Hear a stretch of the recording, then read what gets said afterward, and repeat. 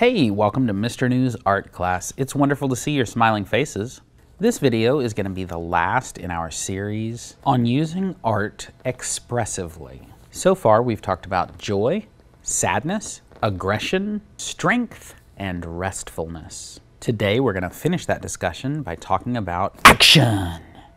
And we're going to use the same construction method as we have for the last two drawings of figures in our strength and rest videos.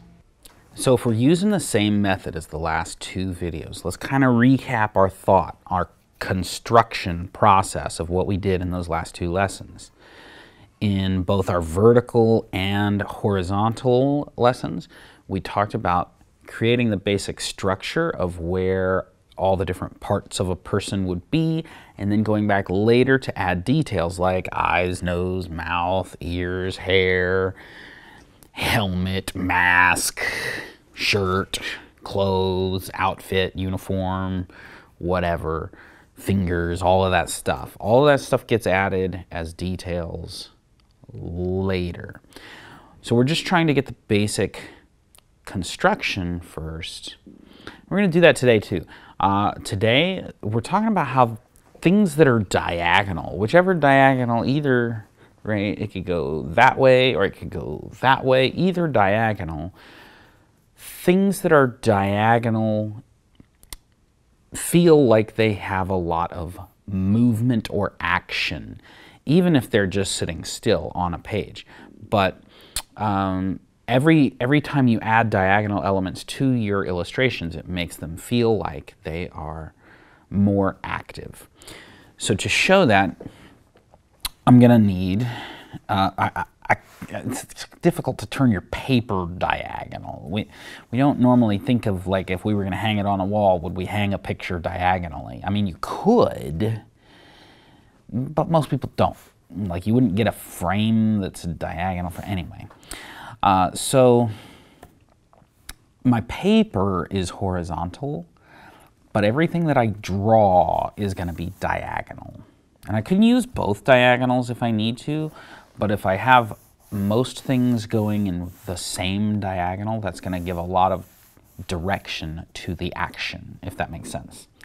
So here's what I'm going to do. I'm going to make like a sort of landscape where my character is like hiking up a mountain, right?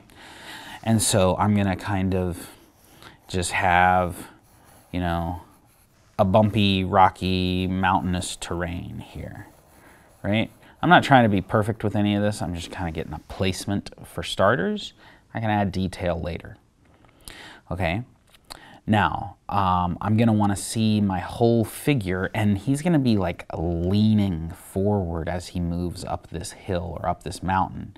He's not going to be just standing straight he's going to be leaning diagonally. Okay, that's going to make it feel like he is really, really pushing forward up this hill. So how am I going to do that? Well, um, I'm going to have one leg be just completely diagonal, and then his foot would be here, right? There's his foot. And then his other leg is going to be bent but still diagonal, right? Right? Like this part is diagonal, right? And then this part is even a little bit diagonal going that direction. Right? And then his other foot and his feet are diagonal because they're going up the edge of the mountain here. Right? And then his body is going to be diagonal, leaning into it as he's walking up this hill. Uh, his hands, well, if it's the same character I've been doing, he's going to have a sword and a shield, right? So, how's that going to work out? Well, uh, maybe this arm, right? The arm is going to come from the top of the body. Maybe this arm is angling down and then bending at the elbow and angling back up. Again, diagonal, diagonal. And he's going to have his hand here, and he's going to have a sword in this hand coming up at a diagonal. He's like really marching on forward with that sword out. His other hand coming from the other side of his body. We're kind of looking at him sideways here. His other hand is going to angle back the other way. It's going to kind of angle where we don't see the hand. The hand's on the other side of the body. But his shield, his shield is going to be overlapping behind him. If we could see the whole shield, we would see the top of the shield here, and then we would see it coming down kind of like this. Now we can't see the whole shield. We can't see the part of the shield that's behind him. So I'm going to erase the bits that are behind him. Okay. But notice how that shield is diagonal going behind him, right? Right? And then his head. I haven't drawn his head yet. His head is also going to be at the same diagonal as his body and this leg, this back leg. And so because he is leaning heavily into this hill, everything going this diagonal, it really feels active. It really feels like he's actually booking it, like he's moving up that hill. He's got a purpose. He's got a goal. He's got an agenda. He's got something he wants to do. He's going to go win this fight, whatever, whatever he's got his sword for. I don't know. Now, like I mentioned before, you sometimes want other diagonals that come the opposite direction just to kind of balance things a little bit. I might have a distant mountain back in the background that goes up kind of the other direction.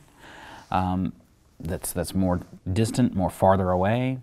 Um, or maybe there's like wind coming in or something like that, or clouds or something that kind of get another diagonal come in the opposite direction, just for a little bit of balance.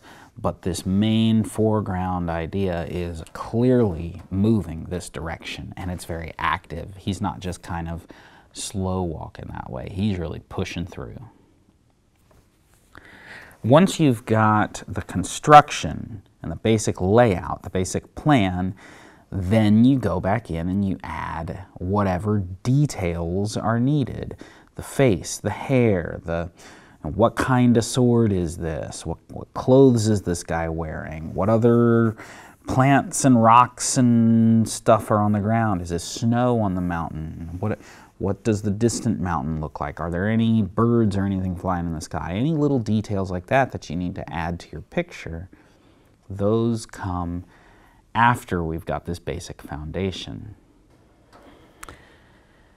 There yeah, I think I'm gonna call that done. I think, I think that's got, you know, the details don't all have to be diagonal, but the basic structure, the construction of the picture, the basic idea, the mountains, the character, the sword, the shield, all of those things are diagonal. And that really just makes it feel like this little ninja guy is really booking it up that hill.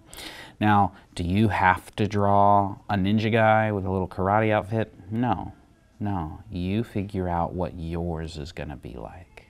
This finishes our series on creating expressive artwork. I hope you've enjoyed it, and I look forward to seeing you next time.